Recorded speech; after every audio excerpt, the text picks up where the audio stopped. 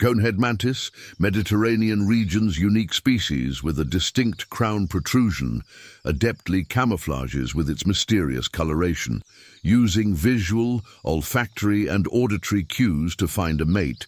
It occasionally consumes the male during mating for extra nutrients. As a voracious hunter, it targets insects such as grasshoppers and cockroaches. With its peculiar appearance and fascinating behaviors, this mantis is a captivating part of nature.